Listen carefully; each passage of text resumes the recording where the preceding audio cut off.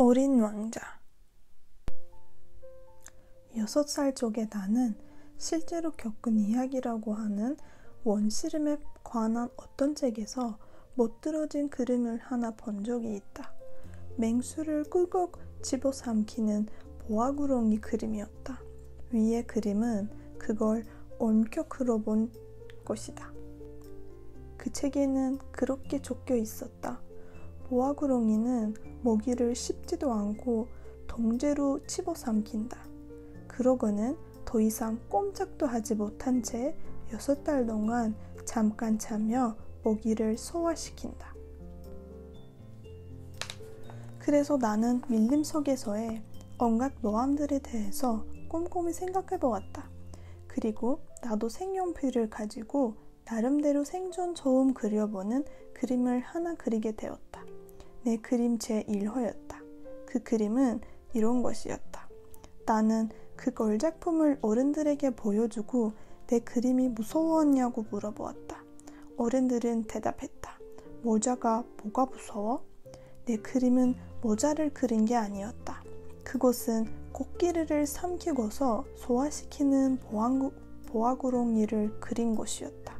그래서 나는 어른들이 알아볼 수 있도록 보아구렁이에 뱃속에 그려놓았다.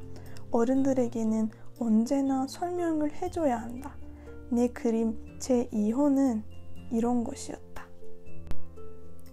어른들은 나더러 속이 보이건 안 보이건 간에 보아구렁이 그림 따위는 집어지우고 차라리 지리, 역사, 산수, 문법이나 열심히 공부해보는 것이 좋겠다고 충고해 주었다. 이래하여 나는 여섯 살 때 화가 났어에 멋진 꿈을 접을 수밖에 없었다. 내 그림 제1호와 제2호가 성공을 거두지 못한 것 때문에 낙담하고만 것이었다. 어른들은 언제나 스스로는 아무것도 이해하지 못한다.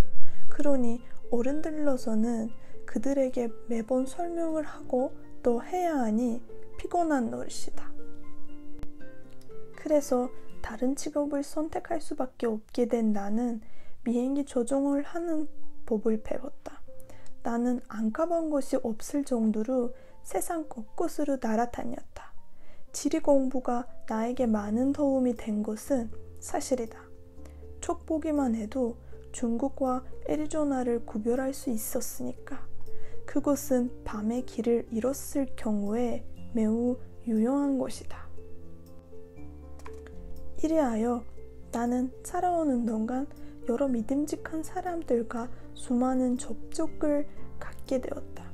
어른들 가운데 섞여 오랫동안 살아온 것이다. 나는 그들을 아주 가까이에서 볼 수 있었다.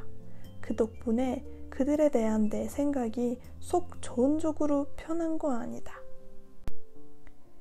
어른들 중에 좀 똑똑해 보이는 이를 만날 때면 나는 늘 간직하고 있던 내 그림체 1호를 가지고 그 사람을 시험해보곤 했다. 정말이지 이 사람이 무언가 이해할 줄 아는 사람인지 궁금했던 것이다. 그러나 그 사람은 의뢰 오자구나 하고 대답하는 것이었다. 그러면 나는 모아구렁이니 원시름이니 표리니 하는 이야기는 아예 꺼내지도 않았다. 나는 그가 알아들 수 있는 이야기만 하게 되었다. 브리지 게임이니 걸프니 종치니 넥타이니 하는 것들에 대해 이야기하는 것이었다. 그러면 그 어른은 나같이 제대로 된 사람을 알게 된 것을 몹시 흐뭇하게 여겼다.